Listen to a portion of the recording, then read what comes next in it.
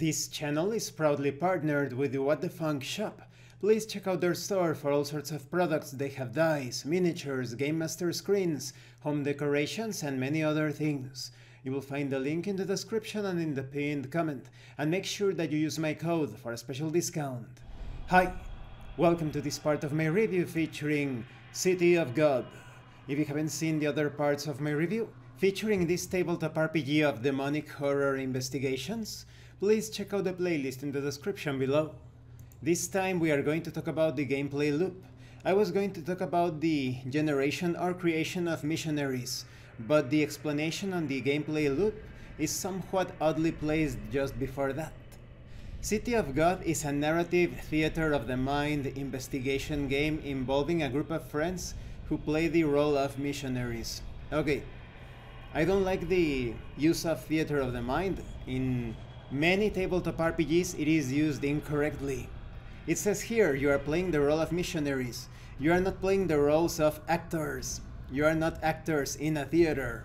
There is no theater of the mind.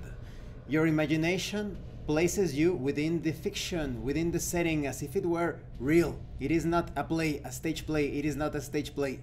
And remember, actors do not describe their actions, so the use of theater of the mind is quite nonsensical. You can say the mind's eye as if you are using like the third eye, but there is no no theater. You are actually within that fiction. You are not playing the roles of actors unless it is a tabletop RPG based on on theater. Maybe it's a tabletop role-playing game where you are actually playing the roles of actors within a play. That could work. Now it says here, one of these missionaries takes on the role of narrator the game's chief storyteller and arbiter of the investigation. You are not telling stories about your characters, you are experiencing the game world as your characters. You can tell a story after the session is over. You are not telling a story such as the missionary went into the cabin and found an ancient stone statue. He touch the statue and then a demon came out of nowhere. No, you are playing a role within a game, tabletop role-playing game. This is not a storytelling RPG hybrid game such as Hardy Boys, Raven, Children of the Fall. So yes, there are a lot of errors in this section.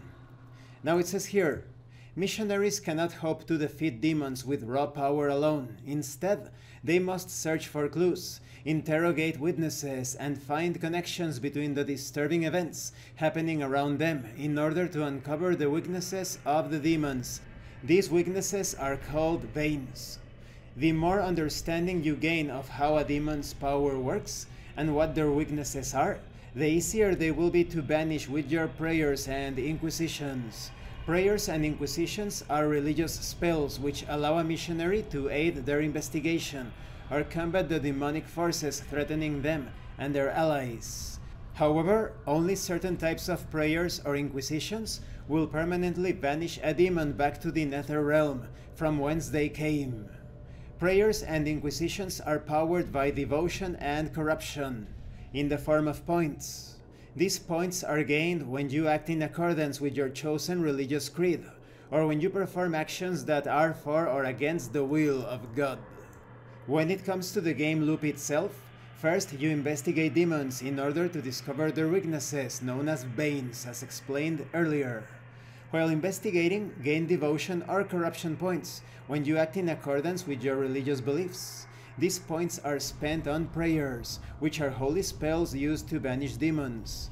Then you combine prayers with your knowledge of a demon's bane to permanently banish them.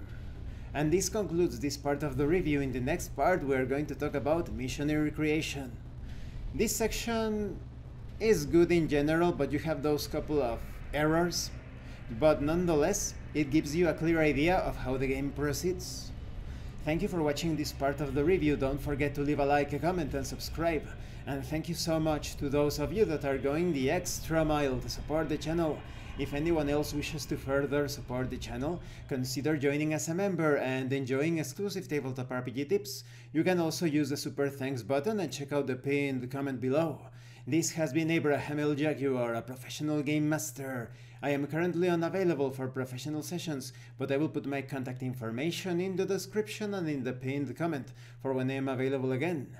And remember, in tabletop RPGs, you are not telling stories about your characters, you are experiencing the game world as your characters. Once again, thank you and see you later.